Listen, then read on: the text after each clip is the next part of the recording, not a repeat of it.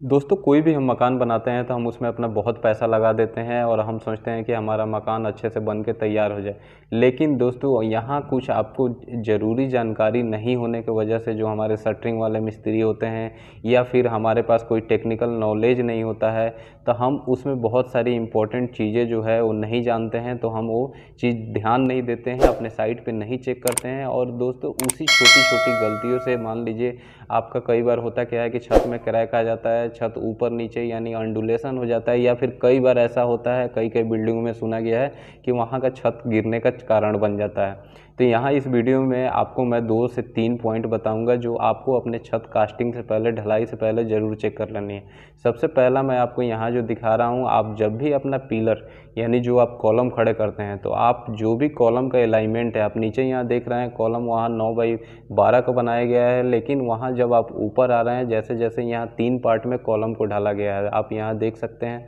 तो नीचे का आप सेप देख रहे हैं और ऊपर जो कॉलम जा रहा है, अब यहाँ से पतला होते गया है।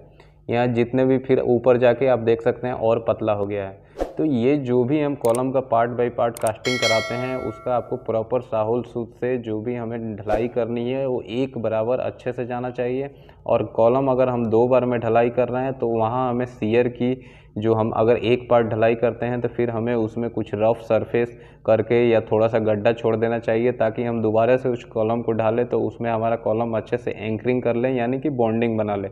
आप प्लेन सरफेस छोड़ देते हैं तो वहाँ से क्या होता है कि कॉलम वो दो पार्ट में बढ़ जाता है। जैसा आप यहाँ वीडियो में भी देख रहे हैं कि कैसे यह तीन पार्ट में कॉलम को ढाला गया है, और ये आपस में यहाँ पे एक दूसरे से मतलब इसका साइज़ कम होते गया है। तो वहाँ एक तो वैसे ही वो लोड को प्रॉपर डिस्ट्रीब्यूट नहीं करेगा और कोई भी आपका फोर्स पड़ेगा, अर्थक्वेक आ जाएगा या ज़मीन की सेटलमेंट होगी तो वहाँ से कॉलम टूटने का चांस बनता है। दूसरी सबसे बड़ी मिस्टेक हमारे सटरिंग लगाते टाइम में की जाती है कि जो भी प्रॉप्स हम यूज़ करते हैं, यानी कि जो बल्ली यूज़ की जाती है, दोस्तों, कोई भी बल्ली यहाँ पे आप देख सकते हैं कि वर्टिकल नहीं लगाया गया यानी एकदम सीधी आपको बल्ली लगानी होती है और जब भी आप बल्ली लगाएँ तो उसके नीचे आपको एकदम वो देख चेक करना चाहिए कि वो एकदम टाइट बल्ली लगा है कि नहीं? साइड पे जैसा आप देखते हैं कि उसके नीचे प्लैंक्स लगा दिया जाता है, ईंट लगा दी जाती है और फिर उस बल्ली को टाइट किया जाता है। बहुत केस में ऐसा देखा जाता है कि वहाँ से बल्ली झूलती रहती है। तो जब भी आप कास्टिंग करें, कास्टिंग से ढलाई करने से पहले आपको सारी बल्लियाँ चेक कर लेनी है कि वो एकदम टाइट फिक्स है कि नहीं।